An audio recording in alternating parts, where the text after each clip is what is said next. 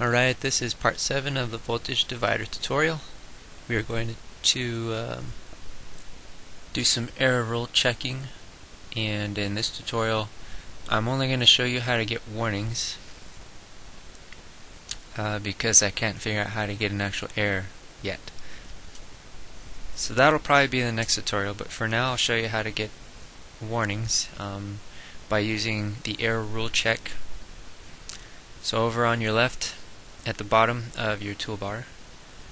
Look for the button that has a magnifying glass over a logic gate and I'm hovering over it right now. It's called ERC error rule check.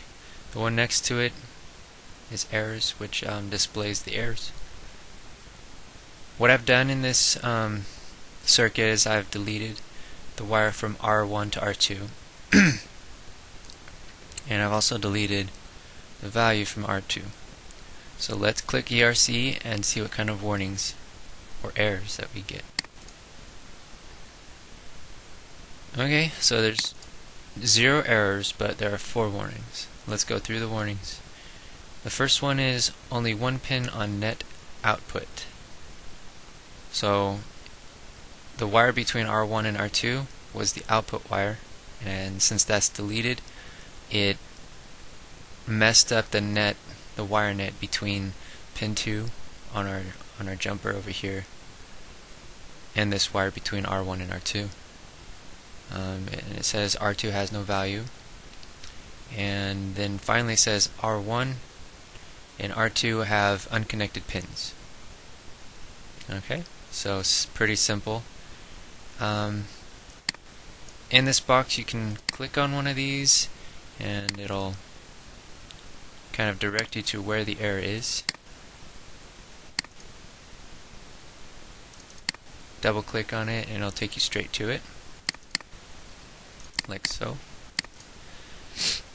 Um, to get rid of them, all we gotta do is put our circuit back to where it was. Let's draw this, this line first. Okay. Let's click ERC again. Now we only have two warnings. Uh, okay. I'm going to give this back the name output. Do you want to connect these? Yes, I do. And let's give a value to R2. Back to 10k. Then let's click ERC one more time. Segment of net output has no visual connection. I think that means we need a label. Click the label button, and voila. Click ERC again. Oh, didn't pop up. So um, that either means we have no warnings or errors, which we shouldn't. But just to check, let's click the exclamation mark, this yellow circle thingy. And there you go. No errors, no warnings. And that's how you uh, check your warnings. And in the next tutorial, I will figure out how to get an error and show you how to fix that.